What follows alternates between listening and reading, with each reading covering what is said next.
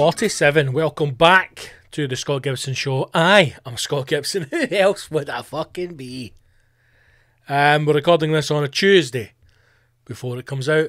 General release on a Wednesday. I've also, um, I'm realizing, realizing, I have, I have difficulty saying words with the letter R in it. Not to the level of Jonathan Wass. Well, not at that point. But things like temporarily, temporarily, temporarily, temporarily. the train was temporarily delayed. So I'm struggling with words. I mean, I've had brain surgery for God's sake. I have had brain sur- surgically to the, surgical to the brain, surgery to the brain. I can't fucking speak. It's mad to think that uh, a, a man, a gentleman, or a, or a lady, you know, I don't know who was present in the room at the time, but somebody said that somebody's been in my brain, man. You know? It's fucking mental to think. Anyway, episode 47, welcome back. Thank you, as always, to the Rascals um, for joining the Patreon. We had some good numbers uh, sign up last week. Uh, it's the best way to support the show. It's the only way to get every single episode and all the extra content, including, including, including, including comedy albums, uh, comedy specials, and everything else that's coming out. All the good stuff uh, is on Patreon. So if you want to support the show, if you want to become a rascal on Patreon, go to patreon.com forward slash Big Scott Gibson or go to the website scottgibsoncomedy.co.uk and follow all the links on there. Good, right. Um, 47, hurtling towards 50, eh, the half century. We've got the anniversary coming up as well. I think October the 7th um, is the one year anniversary of the show. So we'll, need to think about something to do for that. Um, also mad, I can remember the very first episode that I recorded in the old flat in Edinburgh, uh, looking out the bay window as the, the office, the desk was then set up onto the mean streets of Easter Road. And a year later, we're in a new gaff, thankfully. I've, I've spoken about this before, but I, I could not have survived in the old flat. You know, with lockdown and COVID, couldn't have done it, man. Um, with the other half working from home, you know, there's no way we could have made that work logistically. And even the fact you couldn't get Wi-Fi in the kitchen as well because you're you're going through fucking nine feet of concrete wall, solid concrete. So yes, a year later, almost a year later, in a new gaff still in Edinburgh, we have now recorded more episodes of the podcast in lockdown than we did out of lockdown. That is how fucked up things have become. Um, I'm trying to find the pages now because, again, here, here's the thing with COVID, right? And the situation that we now find ourselves in.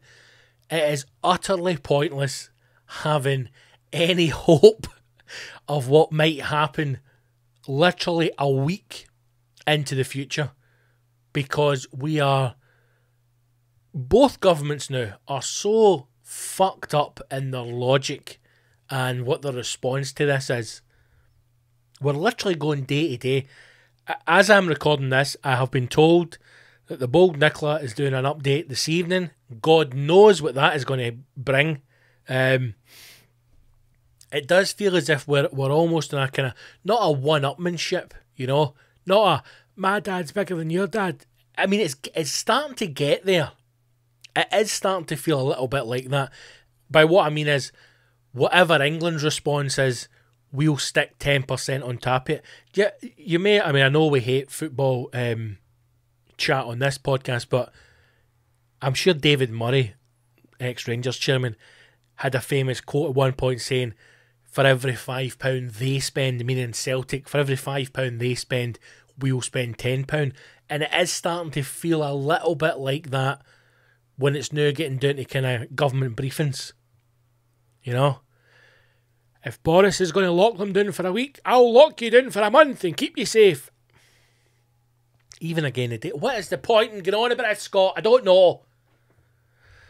Even again today, walking to the shop, uh, to get some coffee. You, you don't need to know that, but I was going to get coffee. I'm out of coffee, for God's sake. How can we function with no caffeine in the gaff?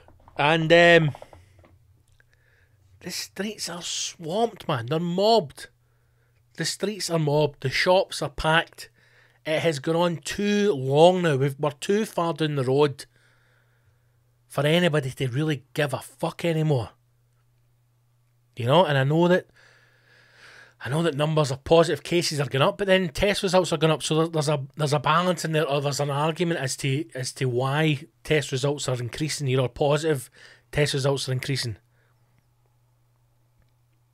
But I really don't. I don't know what's going to happen, man. I just I just can't believe that we're now pushing towards October, and we're still going to be this. It's going to be interesting to see what happens at the end of October. Eh? If they, if they keep the goths away for Halloween, there'll be fucking blood will run in the streets. Christ, you, you think that they've had a hard time? Wait until they fucking tell the goths they can't have a Halloween party. you mean that we can't dress up as sexy vampires and get in each other's houses? Nah, locked in. That seems to be the one. Is that a holiday? I don't know. It's an American. I think it's an American thing anyway. But that seems to be the one kind of time of the year when you know adults, grown men and women, seem to get really hysterical about. I can't wait for Halloween. I'm going to paint my face. Terrifying. More terrifying than you paint your face every holiday. Yeah, cheeky bastard. So I. That's going to be the next challenge for, for Nicola if she can keep the goths away from the Halloween parties. does any does any fucker still bob for apples? Is that a thing? Does anybody really get their head in a bucket of water and go fishing for apples? Halloween's Halloween's changed, man. You know, it's kind of it's it's the one kind of is it a celebration? I don't even know what you call it. It's not a holiday, right? It's not a holiday. It's not a celebration. What the fuck is it? An excuse for a party. Whatever, Halloween, that time of year seems to be the one where everybody's kind of hung on to it, you know? I've been to some good Halloween parties over the years. I've been to some god awful Halloween parties over the years. I think that either it's good for the Waynes because you get to dress up, or I think if you can get a group of friends and make it kind of, you know, get get back to the the horror and the kind of darkness and the kind of scare side of Halloween, that's when it gets fun. But if it's just a case of everybody's getting, you know, stripped in their underwear, and the one guy in the group has got a six pack painting cell green, I'm going as the Hulk, then it maybe detracts from, you know, what a Halloween party is. How did we get talking to Halloween? I don't know because we started thinking about goths and lockdown, and then it led us to Halloween. Anyway, Bojangles, um, has come out with an update um, regarding pubs um, in England. I'm seeing here uh, on the BBC News uh, coronavirus. How are pubs keeping customers safe? They're no, is the answer. Uh, they're no. Um, I mean, you only need to look at the number of cases. Look, look at, for example, that pub in Aberdeen that started the, the spread that caused Aberdeen to go back into lockdown even even in Edinburgh, there was a pub in Edinburgh, right? What, a couple of hundred yards from where I am, that had a, that had a case of COVID, that that forced it to close for a bit. What what can what can pubs really do? What can cafes really do? What can what can anybody really do to truly safeguard against a virus that we probably still don't even fucking understand? But yet you're asking people to stick out a bit of perspex and, you know, washed in a worktop every now and again. It seems mad. And this whole curfew thing is if, you know, coronavirus stays in its bed to fucking eight o'clock at night. Again, seems mad. It's just it's just adding to this idea that one you can understand those conspiracists that are like, this isn't real, it's all just made up. Because this whole curfew thing, that's got nothing to do with a, a pandemic. Like a, a disease doesn't, doesn't have a, a, a start time. You know, the pandemic's no sitting going, I tell you something, see when I get let out, I'm going to infect every cunt. But remember, you can't leave before 10 o'clock. Oh, I'm, I'm itching at the bit to go and get them. So, um, the article reads here that pubs and restaurants in England, and the only reason I'm reading this is because I imagine that we will have some kind of further extension of what we currently have at the moment for England anyway. It says here from Thursday, 24th September, which is tomorrow as you listen, all pubs, bars, restaurants, cafes, and other hospitality venues in England must close by 10 pm because COVID's a fucking nighttime pandemic. COVID 19 is a, is, is a night, it's a twilight virus, you know, it loves a lie in. And if you're in the pub at five minutes past 10, you'll fucking catch it. Hospitality venues must close by 10 pm. They will be restricted by law to table service only, except for takeaways. Table bookings of more than six are not allowed, and groups cannot mingle. Businesses are legally required to take customers' contact details. We've been doing that. So they can be traced if there is an outbreak. They can be fined up to £10,000 if they take reservations for more than six do not enforce social distancing or do not take customers' contact details. Staff in hospitality venues must now wear masks, as must customers when not seated at their table to eat or drink. The penalty for not wearing one or breaking the rule of six has doubled to a £200 for a first offence. Again, it just doesn't make any sense to me. Now, listen, I might be completely wrong with all this, and I might be reading that completely wrong and no understanding it, but it just doesn't make any fucking sense whatsoever. None of those measures are about safeguarding people. None of them. That is continuing to feed the economy, allowing businesses to have the sense that they're trading, but keeping them on a fine line, that fear where it could be shut down at any moment. This missed microphone's buzzing like fuck today. For example, right, let, let's look at the mask situation. Now, if I'm being honest with you, there has been a couple of times when I've gone into a shop or I've gone into a cafe or whatever, and the staff are not wearing masks, and that does blow my mind a wee bit. Whether you believe in masks or not, whether you think it does anything, whether you think it protects you or protects someone else, I think if you're in the environment where you are dealing with the public, you know, or even things like dealing with food, you know, just have a fucking mask on, put gloves on. That still blows my mind. When you go into like a bar or a cafe or a restaurant, and the staff only wearing masks. That I think that's mental. But even there, if you're in a cafe, you know, from this Thursday in England, and we should stress this as England, so we don't really know what it's going to be like in Scotland, but I imagine it will be an extension of what's been said here. If you're standing in a restaurant, if you're standing in a cafe, mask on because COVID can get you. But as soon as you're seated at a table, yeah, you can take the mask off, you can eat, you can drink, you can spit, you can spray. It just, it just, I don't know. I'm fi- I'm finding it really hard again because it feels as if we're we're always getting a little bit that we we're almost given the feeling that we may be getting back to, you know, to the way that life used to be. And I, I suppose I'm taking it harder than most because I cannot get back to gigs. I cannot get back to work. That's the frustrating thing for me. That's what it's all doing to. You know, and I get incredibly frustrated when I'm seeing people in England doing gigs.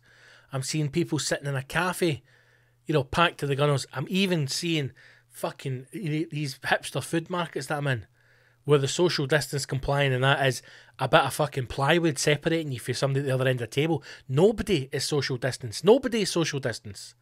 There's a bit of plywood there. And that's classed as you being distant. When you're sitting shoulder to shoulder with someone else, separated by about a four mil ply. As if coronavirus would kind of go, oh, if only there was a way to get through a bit of plywood.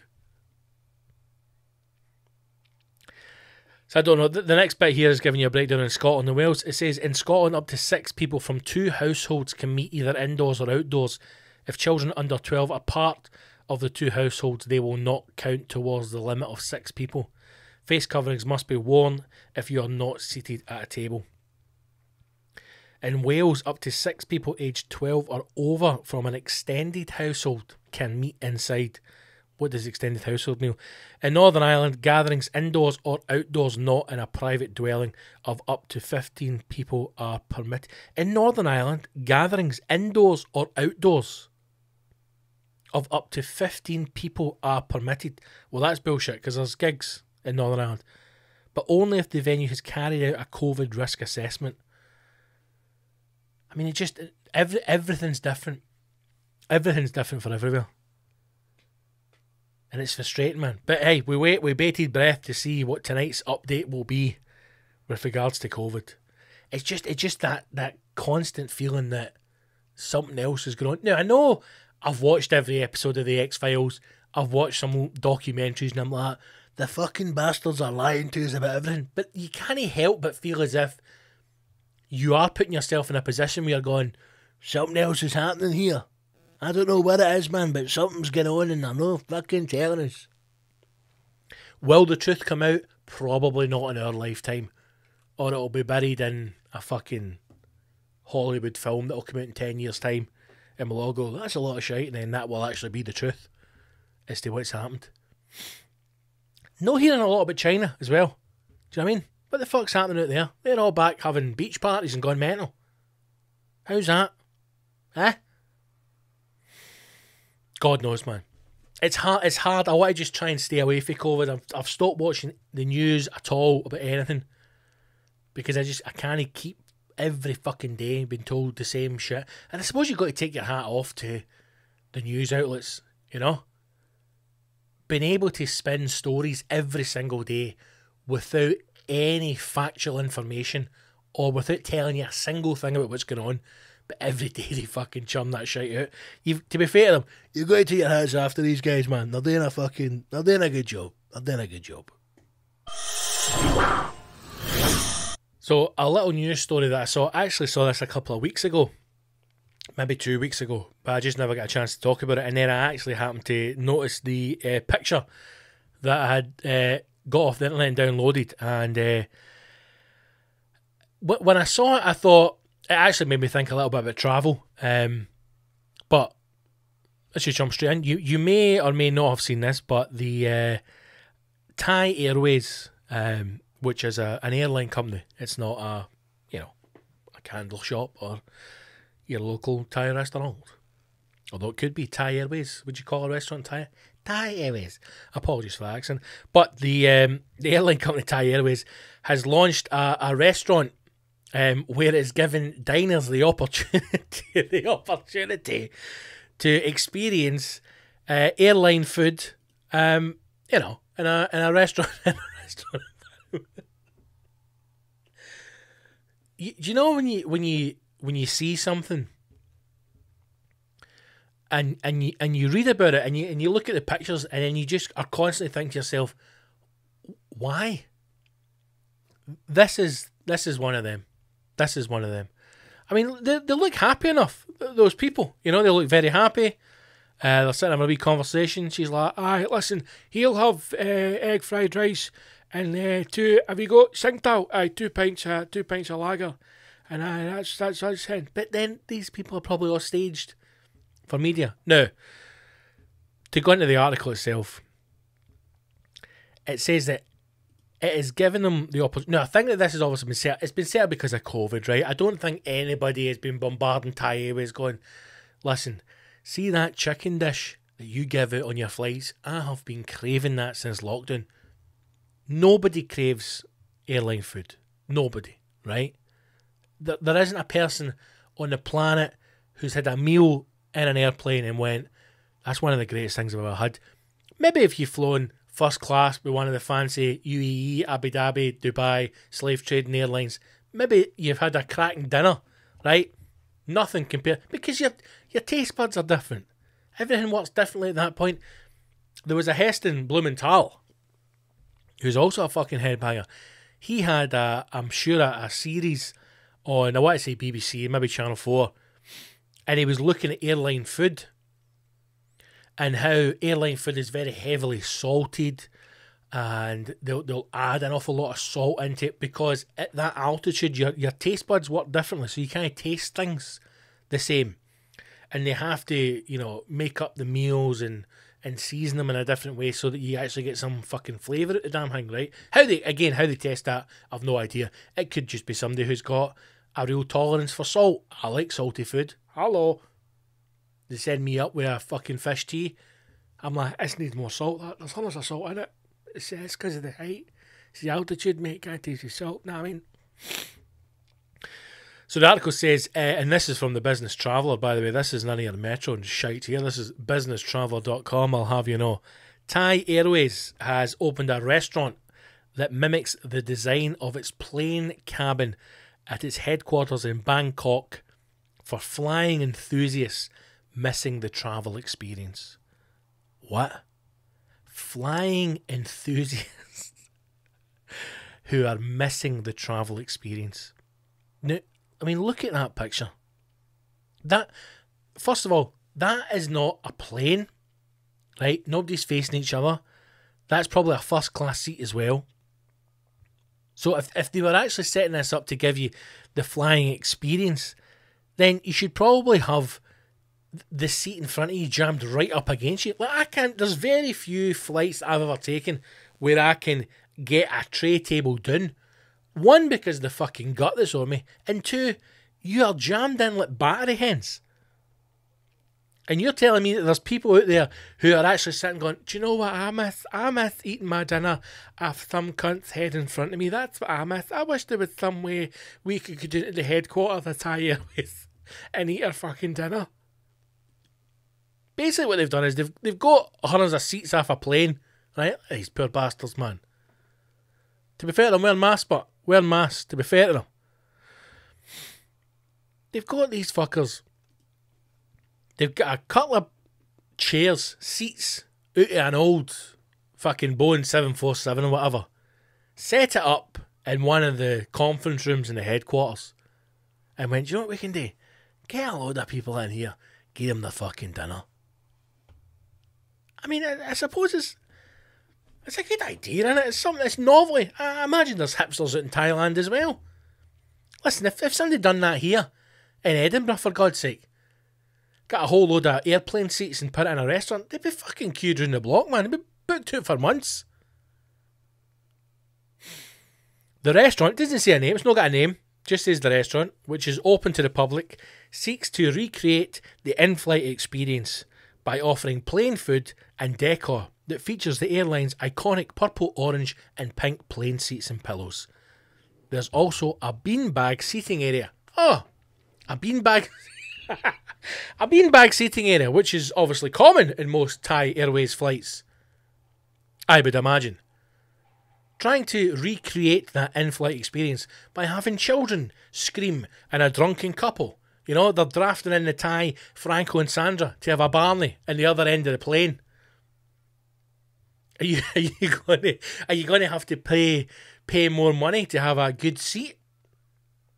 Have they brought in uh, two portaloos to put at either end of the restaurant, so everybody's got to queue down the middle aisle to go for a shite, and then you're getting your dinner last because you're at the other end for the kitchen, so you're sitting tucking into your fucking Thai green curry as the toilet door keeps wafting and a big fucking blow of shite comes in the restaurant. Is that is that recreating the experience?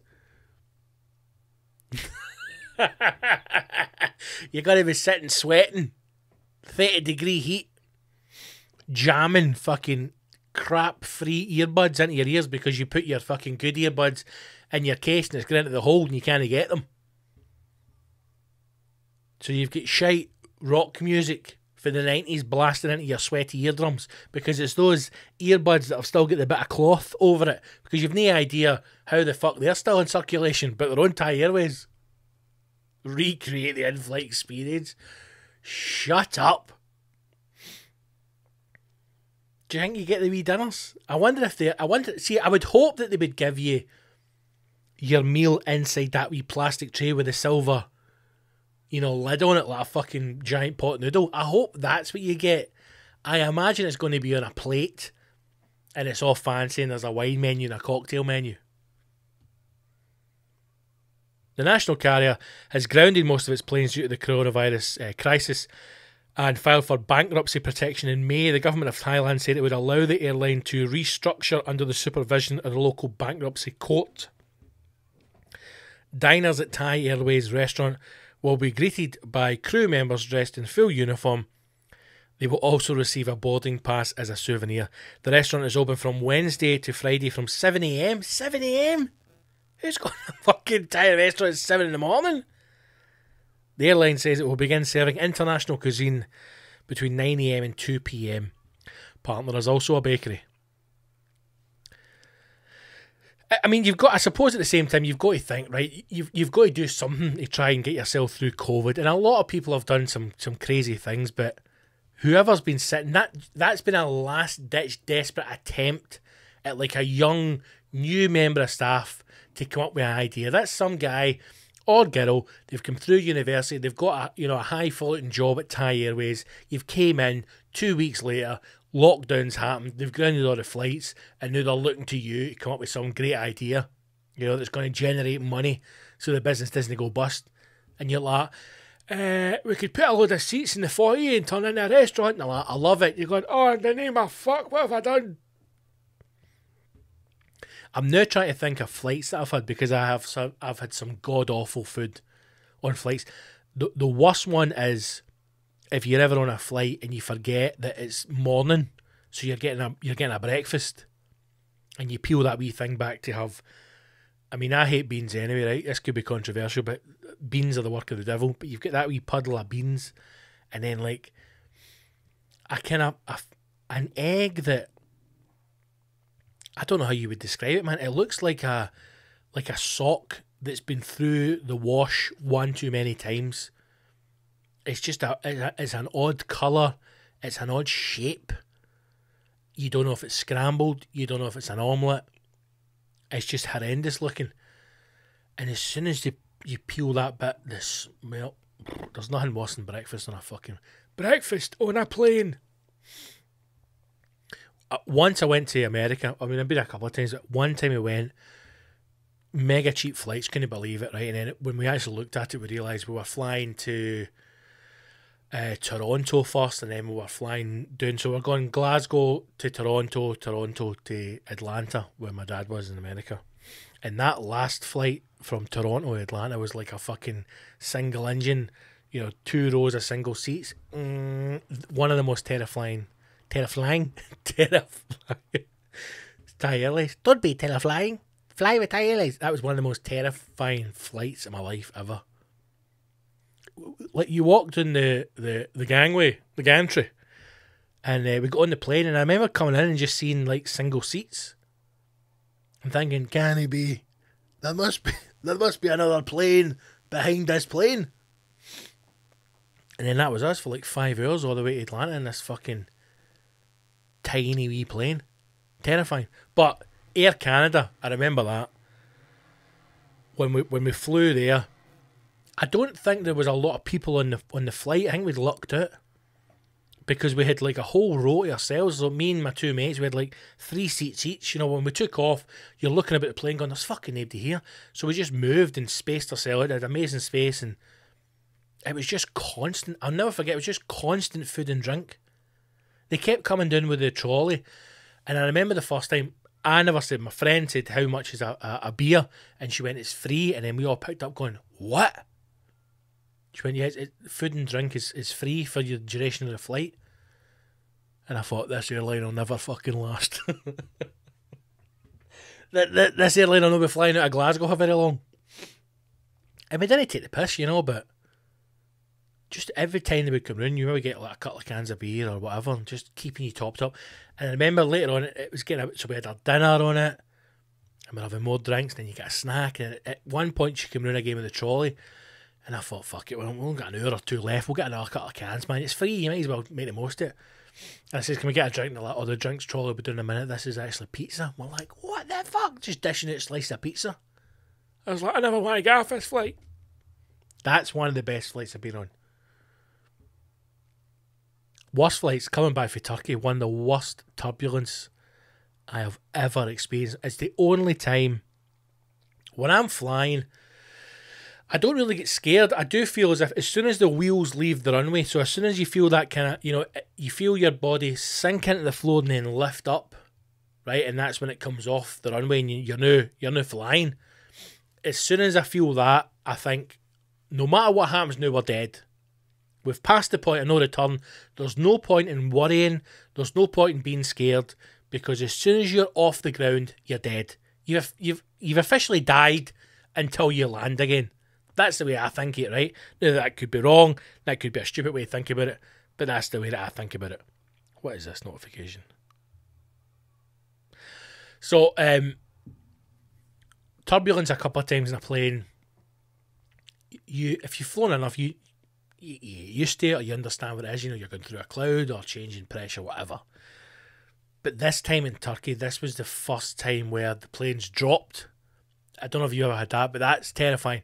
When you're just and all of a sudden you just drop out of the air, and it kept doing about three or four times to the point where you're going, "Is this this guy's first flight? What the fuck is he doing?" Now, it'd been on and off for about an hour, and people were screaming. people were screaming in the flight. People were getting really worked up, and I think you could tell that it was bad because even the the crew, see when the cabin crew start to kind of grab onto stuff, that's when you know, right? That it's bad, man. It's bad if they're reacting to it. And there was one point where they would just drop and drop and drop, and they did that about three times, then drop and drop, and you could see like who was the head air hostess, air crew, whatever. You could just see the look in her face as if, what the fuck is that asshole there? like, am I going to have to get in there and fly this fucking plane for him? So we'd had bad turbulence, and I couldn't hold this shit any longer. Like, I could not hold. I was either getting to that toilet or I was going to shit myself on this fucking plane. So I remember getting to the toilet, going to the toilet, and then fucking turbulence as I was on the shitter, man. And I was coming up and off the toilet, and I was banging about. And then the air hostess came to the door and told me that I couldn't I couldn't leave. I had to sit in there and there was a seat belt. I never knew that either. There was a seat belt on the toilet. I had to strap myself to the fucking shit I had to strap myself at the toilet. Thankfully I'd finished I'd finished the job by this point, you know, but I remember there sitting strapped into a toilet thinking I would probably quite happily finish the flight out in here. There's more space. I can stretch my legs out. if I could have got my dinner served in there, you know, I could have rested on the wee sink. That's when you know that flying economy, that most of us will fly, is pretty shit, you know. When you've got more space in the toilet than what you have in your own seat, it's, it's a pretty shite experience, man. Excuse the pun. I've never flown first class. Never and I'd love to do it, man. But it's expensive, you know. It's crazy, man. I remember once looking at a ticket to go to New York, I think it was, and going, "Am I buying this plane? Like, it's fucking insane money." Who knows what's in the corner? You know, 2021. Let's hope fresh start, new beginnings. Uh, let's hope there's some good times ahead. Maybe there'll be a wee first class business flight in there as well at some point. Who knows? But uh, aye. Maybe this will catch on. Maybe this will be the new thing. Maybe British Airways, EasyJet. I wonder what an EasyJet. I mean, it would just be a burger van. an EasyJet restaurant would just be literally EasyJet giving you their dinner. There would be there wouldn't be a chef. They'd just bring the boxes in. They'd steam them. They'd fire them out. There'd be a wet t-shirt competition. We'd smash some plates, and then you got the road. Again, probably a great night out. As always, got some questions uh, from the rascals on Patreon. Thank you to those of you who got in touch. Um, let's look at some of them. Just let's hey, let's look at some questions, shall we? Um, again, if you'd like to ask a question on the show, please do get in touch. Um, and if you want to get access to all the extra episodes, Patreons get a episode every single Friday, as well as access to a whole lot of different goodies and whatnot. And hopefully, 2021 when we get back to some kind of normality, um, get regular gigs back up and running again, man. It would be nice. It would be really nice to have some kind of new material night again, um, just to kind of run out some stuff every month. That that's something that I really want to try and you know get together again for next year. But you know we'll wait and see. Again, let's wait and see what Nicola's got to say tonight, eh? Before we start thinking about next year. For the love of God.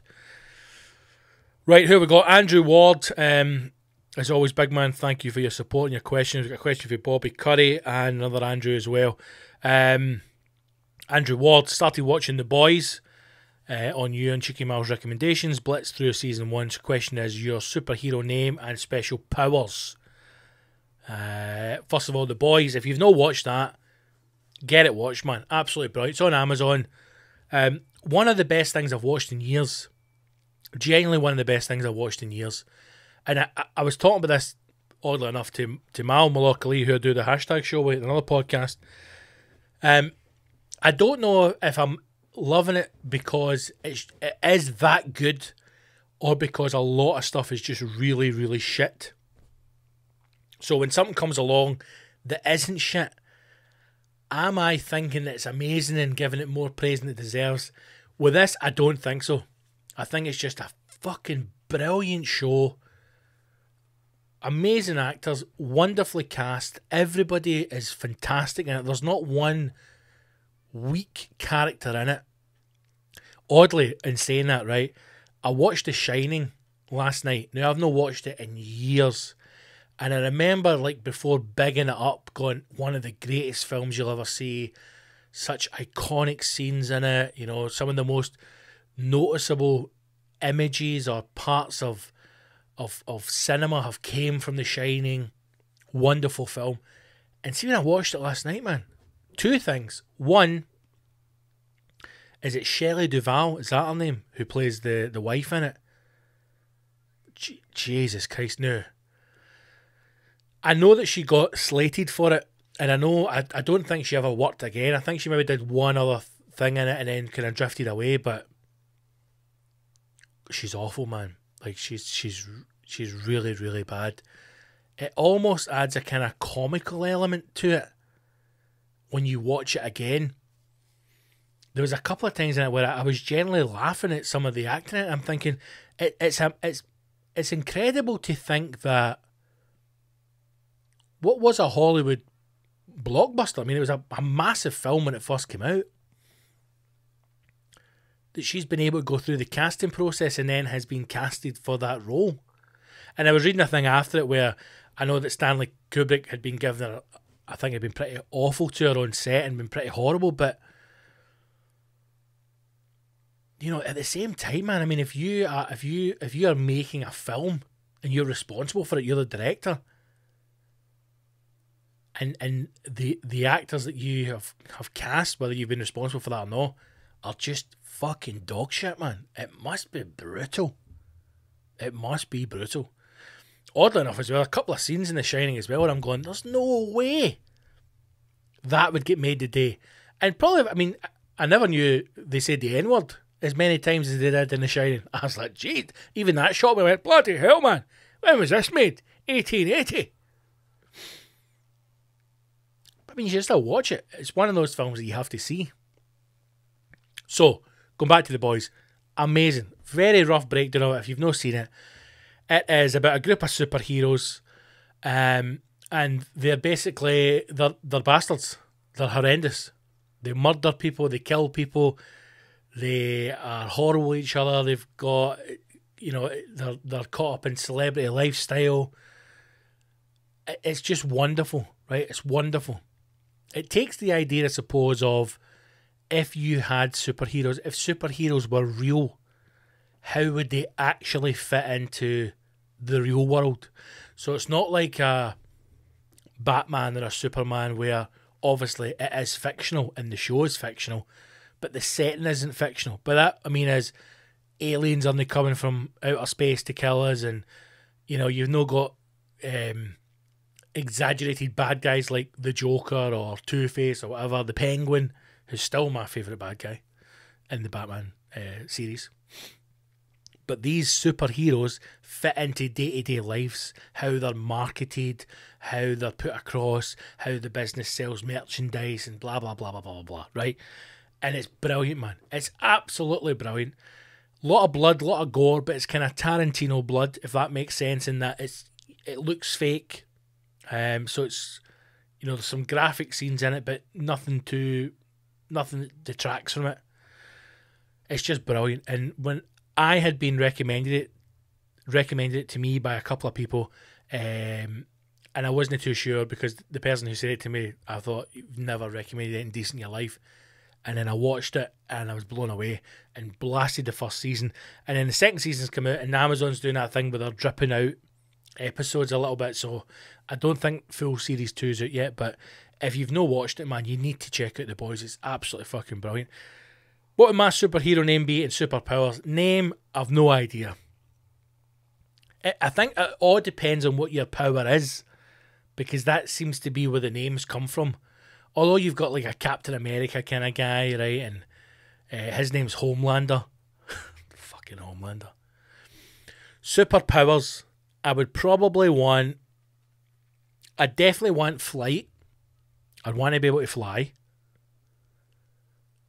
And I think I'd want some kind of like laser or some kind of something that I can shoot whether it be eyes or palm of the hand. I think see ones like control the weather. That's shite. Right? See Storm and the X Men. Shite. People that control like the seas and that bollocks. There's a guy in uh, in uh, the boys who just runs fast, but that's pish as well. Although is quite a good scene when he runs through somebody uh, at top speed and they just explode. That's quite interesting. But to have a superhero power as speed, that's shit. It's like Stretch Armstrong. Shit. What's your superpowers? Uh, I can fly. I have incredible strength and I can shoot lasers from my eyeballs. Amazing. What about yourself? I can run very fast. Right? And uh, yes, super fast. But your superhero, your, your powers, yes, lightning speed. Okay, I mean, that's fucking DHL. What you got to do with that? Challenge Usain Bolt. Next. Got to take that later to Kirkcaldy. Some. Anything else? Jesus Christ, that was fast. I'm fucking lightning, son. Absolute lightning. It's my superpower. so I'd want flight. Flight and lasers. That's what I'd want. Fucking flying. Strong as fuck. And lasers for the eyeballs. What I would use that for, I don't know. Heating up soup you know, um, I could I could fly. Lifts broke. Uh, I could fly soup up to somebody, hand it through the window. Woman's, thank you, son. We've not been able to get out because of his arthritis and the lift's broke. Not a problem, doll. You know, just two tins, two tins, uh, cock-a-leekie. Do you hear that, Franco? Cock-a-leekie. And then she'd put it on the counter, and I'd be like, stand back, madam, and then fucking, and warm the suit up for pet, you know. So you'd have you'd have that. Um, hundreds of stuff. Cat up a tree, fucking as again, you know. Flight, lasers, and strength. Superhero name, your old ah. da. your old da ah, would be the, the greatest Scottish superhero ever. it's a bird. Is it a plane? No, it's your old da. Swoop in. What's the problem, hen? I've got to get these two tins of cock-a-leekie up to my mother. She's on the 19th floor. You're out to me, darling. Your old da, to the rescue. I love you, you're old da. Your old da. There you go. That's a, that's a superhero name. The name is Your Old Da. And what's your superpowers? I can fly, I can fight, and I've got lasers in my eyes. Join the Patreon. there you go, Andy boy. What would your what would your superheroes? What would your powers be? What would your name be? See, your old dad needs needs like a gang. You know, your old dad, your mad uncle, your crazy auntie. Together we are fucking the young team. Your old dad. Oh. Good stuff. Um, right. Question from Andrew. Um, Question: You like food, as you say, and also a good movie. But what's your favourite food you have seen in a movie? Is it the raw eggs in Rocky or the Stay Puft Marshmallow Man in Ghostbusters? Good question, mate. Very good question. Food in movies. Now, I I have not watched it myself, but I have seen it in a documentary. And I think it's a French film. And again, I don't know the name of it. I don't know the. Let's Google it. We're sitting at the computer, man. Let's Google it. Now, the movie itself, right?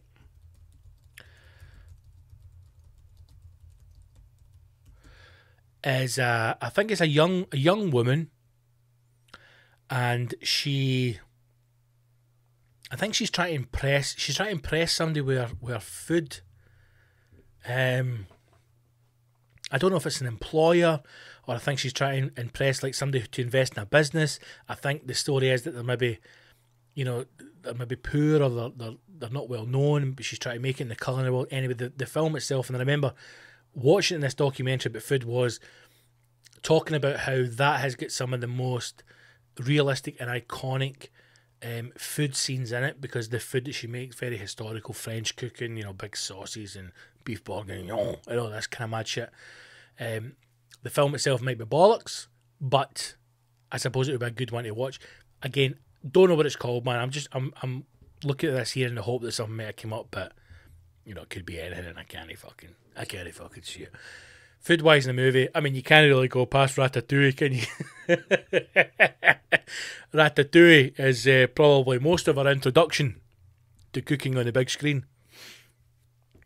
Food on the telly, I don't know. An interesting thing I always remember that stuck with me is David Jason, right? Uh, obviously Del Boy.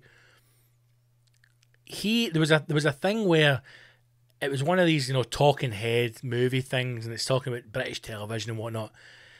And the thing was, what does David Jason and, and Brad Pitt have in common, right? And again, it's one of these things like clickbait where it's just it's just designed to keep you watching.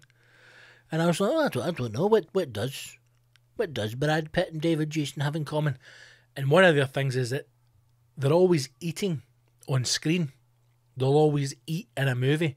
A lot of actors, well, they had a, they had a guy on who's like a, I think he sets scenes or builds sets for Hollywood, and he was talking about that a lot of actors will just play with the food on a plate, like cut it up, and he talked you through the process of and showed you a couple of scenes of people who will cut up food and go to put something in the mouth and then put it away and talk. And how, as you watch that as, as a viewer, as an audience member, your brain thinks that they are eating, but they've not actually taken a single bite. And even when you see the plate of food on screen, it looks as if it's being consumed because it's being cut up and moved and stuff's going up and but nothing's actually been done. And then it showed you scenes with David Jason and Brad Pitt, and they are, I mean, tucking into food and shoving their face and, and consuming it. And the interview was with David Jason because a British thing, because I don't imagine they're going to go, listen, Brad, any chance you can go on do this talking head for Channel 5? going to talk about that time you ate a fucking full paella on the telly? But David Jason's thing was that it gives, he feels that it gives characters that last bit of human touch, that roundness, because people we talk while we in real life, you know, and, and to see someone actually physically eating something on the television, like as if they're enjoying it, like eating a meal and talking and conversing, it just adds an extra layer to that realness of a character. And again, it's very subtle and something you don't, you probably wouldn't even pick up until it's explained to you, and then you watch the clips and you go, he's actually eating that dinner. That's very, he's actually eating that fucking dinner. It must be freezing. Food in a movie. I'm trying to think of movies that I've seen. Um, Burnt was a good film. Um, Bradley Cooper plays a chef, kind of rock and roll chef. There's some good cooking in that. I mean, the main one is the film Chef, um, which is which is an absolutely. Do you know what? It's just not only is it a great film about food, it's just a it's just a great film altogether. Jon Favreau, um, who else is in it? Jon Favreau, uh, Sofia Vergara, Scarlett Johansson, uh, John Leguizamo, Robert Downey Jr. apparently in it as well. Did not know that. But the film Chef, 2014, that came out. Um, Jon Favreau's character, a chef, uh, trying to, I suppose, advance his cooking career, maybe stuck in a rut. Um, something that I imagine a lot of chefs will go through over their careers where they become quite well known and the restaurant's quite famous um, and they're, they're booked out night after night. And um, the, the person who owns the restaurant doesn't want anything to change because what they've got is, you know, it's it's working. Why why fix something that's no broke? And um, Jon Favreau's character as the chef wants to start making new dishes and a new menu because he is slated by a food critic um, for you know being stuck in the olden days and churning out the same stuff over and over again. Even though the food is of a very high standard and a very good quality, that creative side of a chef wants to push forward. And and I suppose that you know that obviously translates into real life. I mean, without a doubt, there, there must be there must be a lot of restaurants out there who will be known for a certain dish or known for a menu. You may have had it in the past where you have a restaurant that you you regard as your favorite restaurant and it's the one place you always go for any celebration, right? And this is our place. And then you go back one day and the decor's changed or the menu's changed and you're in an uproar. You're like, I can't believe they took the fucking fish finger sandwich off the menu for the love of God, we'll never be back. And it could be a real hard thing for you because you feel as if the thing you love has been taken away, but you're maybe in that restaurant three times a year, four times a year, if that. You know, these guys are cooking the same stuff over and over and over again. So, if they are, I suppose, a, a real chef over a cook, they're going to have that desire to continue to turn that menu over or move with the seasons or look at new techniques or new things. And if they don't have the opportunity to do that, I imagine it becomes quite stagnant. So, in the film, Jon Favreau's character uh, quits or is fired and uh, is lost and has to refine himself and connect with his son, which is the B story to the movie. Buys a food truck, uh, kits it out.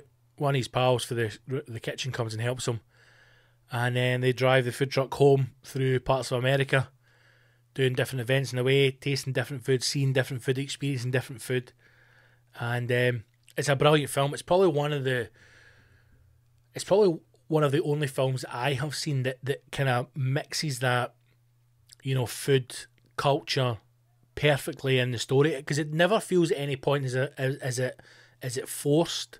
You know, it just feels natural with the with the film and the kind of journey they're on. It would be an amazing thing to do, an incredible thing to do, even an amazing thing to do in Scotland. To be in that position where you could take a month, two months, and just travel all over Scotland you know, trying different foods and learning about different techniques and things like that. It would be an incredible experience. I, I was in Anstruther um, at the weekend, right? And I just out for a drive, man, take the dog to the beach and just go out for a wee bit. And as I was going up the East Coast, now I, I go to Arbroath every single year with a tour show because I love it there. I love the theatre, Webster's Theatre, the, the team behind it. They're amazing people. I, I just love I love that space and I love the gig. I've never had an Arbroath Smokie. Never. 36 years of age, never had it. Never even been up to see it. You know, an, i an iconic food product from Scotland. And I've never had it. How many of us have? How many of us have been to Arbroath? You wouldn't think twice about going to Blackpool for the weekend, go to Manchester, go to London. Liverpool, you know? How many of us would think, let's go, and I know it sounds stupid, let's go, let's go up to Arbroath, get an Airbnb or a wee cheap hotel for the weekend and try the Arbroath Smokies. None of us would do that. None of us would. But maybe we should be doing it. Life's a journey, man. We've got to experience stuff. I want to try a real smoky. Fuck me, man. It's actually smoky. Chef is a great film, man. You should watch it if you've not seen it. It's making me think. No, it's making me think the Cubanos. Hey, the Cubanos. About the sandwiches, the Latina Mac, the sandwiches, the, the Cubanos. It's making me think about it. It's basically a ham and cheese fucking piece. Squashed down, right? That's what it is. It's making me hungry now, man. Think about it. Grateful. Good food in that. Food in other in other films. I'm trying to think now. I'm, I'm stumped a wee bit. Something might come up to me later on, mate, and I'll I'll maybe remember it. But I'm trying to think if there's any like iconic scenes in movies that's involved food or like a feast. But even then, you know, there's there's there's endless stuff like medieval films and whatnot, and they've got banquets and things, and that doesn't interest me. But like stuff like the film Burnt, which is, you know, in a, in a restaurant and kind of high end cooking and going for the Michelin star, that's interesting. And and Chef is interesting, man. That's a good film. That's a good question, mate. That's a that's a fucking great question, Andy boy. Get in touch, man. Let us know though if, if there's any films that you've watched, television shows um, you obviously know by now if you listen to this, I absolutely love my food. Um, maybe next year, maybe 2021, the start of new beginnings for a lot of us. Exciting times ahead. You know, we, we can't dwell too much upon negatives and what might have been or what we've lost or what's, you know, what has left us. We maybe need to start kind of repositioning the old the old brain, the old grey matter into thinking, right, think of you know, a loss not as that, but as, as an opportunity to, to move on and do something else. And maybe next year will be the year I, you know, I finally start to do something in, in food as well. Obviously, the comedy will never end. We'll always be touring. But I maybe I'm, I'm starting I'm starting to get that feeling, man. That I would I would love to go into that. So maybe, but listen, if you've watched anything, if you know any documentaries, any films, uh, that, that I should be watching, then hey, get in touch, man get in touch. Right, Bobby Curry, let's do your question, big man. Um, not so much a question as a hypothetical. Already, I love it. Phone rings, your agent says you've been drafted to fill in on QI and you can choose one other comedian to appear alongside you. Then the message runs in and says you've got an email from Mock the Week offering you the same deal. Twist is, filming is the same time. Which show do you choose and which comedian do you choose to join you? Do you take the opportunity to appear alongside? Do you take the opportunity to appear alongside a he or right? There's always a spelling here. Do you take the opportunity to appear alongside someone you may never have the chance to work with, or do you bring along a friend whose career could take off with the opportunity? Okay, I get you. So let's go to the first one. If the choice is QI or mock the week, I'm doing QI. Every day of the week, I'm doing QI. Um, I'd love to do panel shows. I'd love to do television. It's never going to happen. I accept that. That's why I don't dwell on it or think about it too much, and I just move on. I, I'm sure I've said this before, but I my strength is live. There are a lot of comedians out there who are not great live comedians. They're either structured, they're very script heavy, they lend themselves well to a nice wee 20 minute set. I am the opposite of that. I've always been great live. Live performing will always be the thing that I do very well and better than most. So when there's some shows that are out there, I, I never really get kind of, I've never thought as if that side of the business or that that world is is available to me oddly. So i've never really you know i don't find my i never get jealous or i don't get worked up about it because I, I generally don't think that that is for me. But there is a couple of shows that i would love to do. I'd love to do qi i'd love to have done buzzcocks.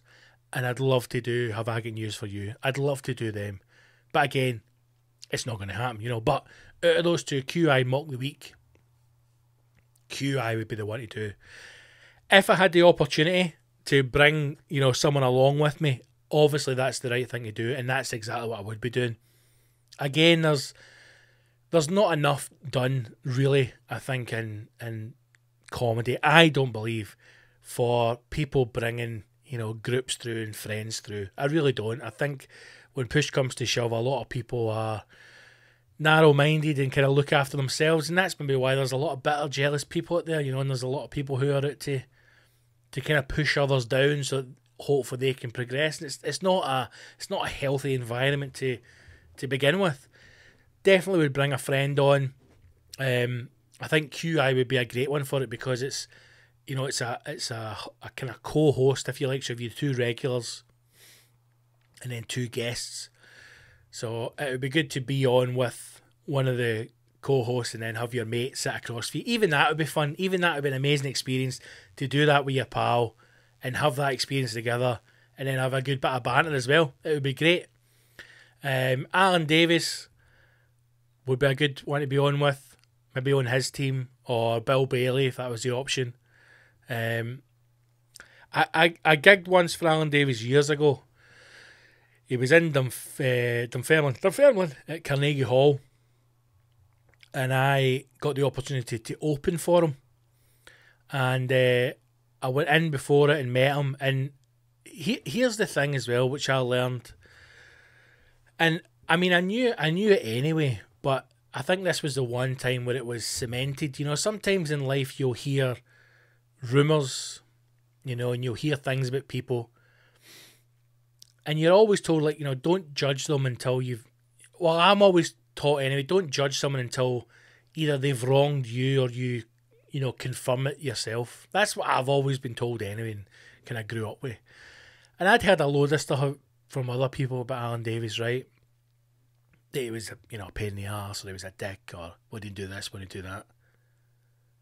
One of the, generally one of the nicest men I've ever met.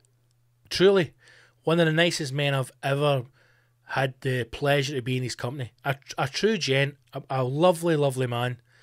Um, I remember coming in, and introduced myself, sat down. He, he was on the phone to his wife. He was a, a video call with his wife, and uh, you know, then he went, "Oh, this is kind of awkward." Turned the phone on, and the three of us were having a conversation, and it was very, very nice. Very, uh, she's a lovely woman, and we were just chatting away, and then come off, and then we talked about, about comedy, and and then the night took a real weird twist because Gordon Brown, ex Prime Minister Gordon Brown, his wife and his son were in the audience to see the gig and his wife came backstage and we're sitting in the green room. And I remember I'm just sitting there going, I've got fucking Jonathan Creek here and Gordon Brown's wife standing at the end of the table and they're having a chat about the Labour Party.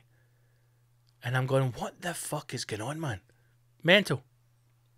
Mental. And one thing that I found really strange about that whole night was after the after the after I did my opening bit, right?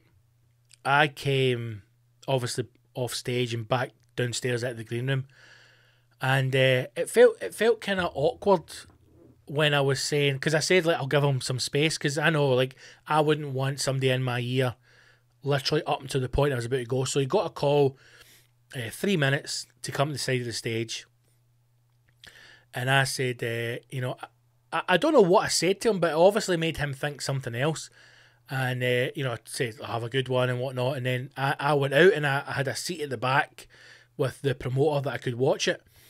And I think the thing was he later on when I was speaking to the promoter after the gig, he thought I was I was going to leave. He thought I was away. He didn't think I was going to stay and watch the gig. And again, that just came up because when he'd been doing stuff down south or he'd been doing stuff in London, um, with some of these younger comics who'd been opening for him, their mentality was, I'm on the up and he's on the down. That was his words. That's the way he put it, right? I don't think he's in the down at all. But their attitude was, I'm the, uh, you know, I'm the new guy and I'm, I'm the cool kid and I'm, I'm too cool to be hanging about with these old comics. And I've said it before, man. These, these acts will have more stories to tell than we'll ever have. And it's just interesting being in a company like, how many of us would ever really get the opportunity to just have a conversation with fucking Jonathan Creek? Do you know what I mean? Um, so yeah, so met up again after it once he'd finished, and it was a it was a brilliant gig. It was a pleasure to see it because I probably wouldn't have gone to see him myself. There's only really a few comedians I will go out my way to actually physically go and watch, and I would say you know, Alan Davies wouldn't be one of them.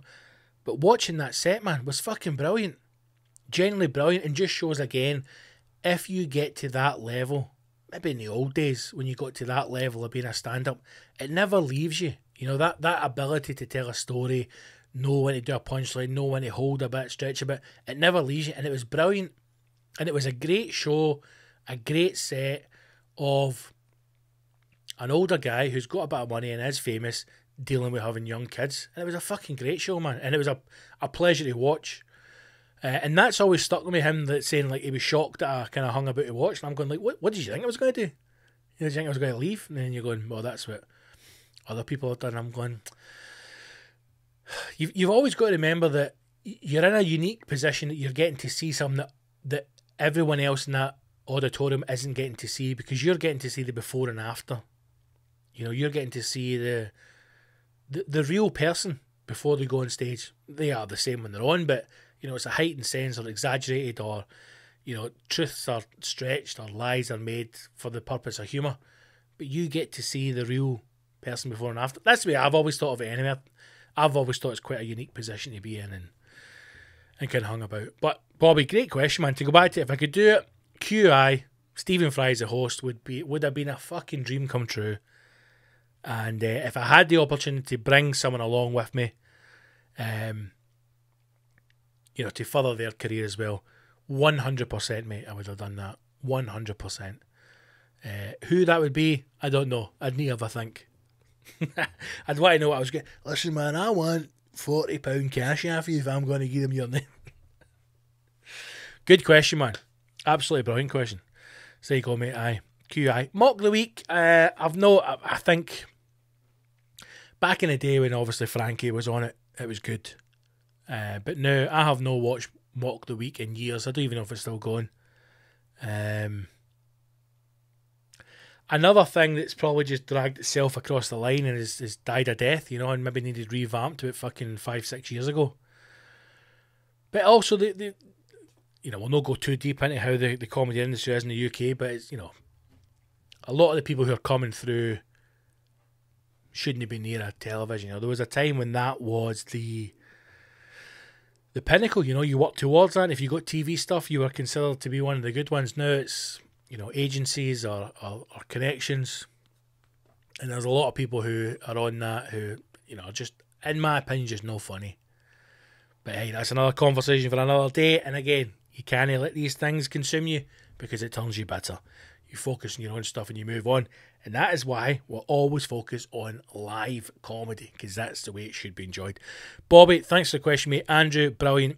And uh, Andrew Ward, good questions, boys. Thank you so much. Those guys asked that uh, through the Patreon. They are rascals on the Patreon page and they get access to the episode that goes out every Friday as well. If you'd like to do that, then simply go to patreon.com forward slash Big Scott Gibson or go to the website and uh, check out all the links there. Right.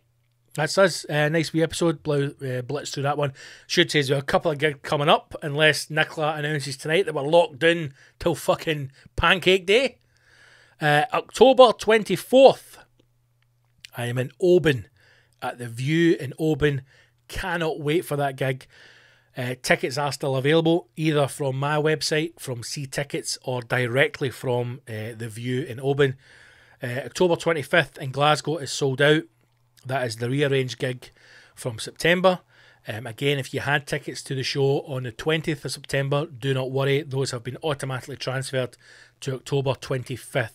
Uh, and last, we have November 6th at the Bungalow in Paisley. Uh, last count, there was 10 tickets left for that. So go ahead and snap up those last 10 tickets and let's uh, sell that one out. So those are the gigs coming up October 24th, The View in Oban, October 25th, Classic Grand in Glasgow, and November 6th, the bungalow in Paisley. Go to the website, check them out, get your tickets, and uh, come along and see us do some live comedy, man. Should be good. Right, team, that's us. Thank you for listening to another episode. If you can, please share it. Um, stick in your socials. Get in touch. Give me your questions. Give me your topics. And uh, whatever happens in the updates, make sure you stay safe. Wash your hands. I need to get this into a t shirt or something, or a mug. Wash your hands and your asshole, and I'll see you in a battlefield soon. Onwards.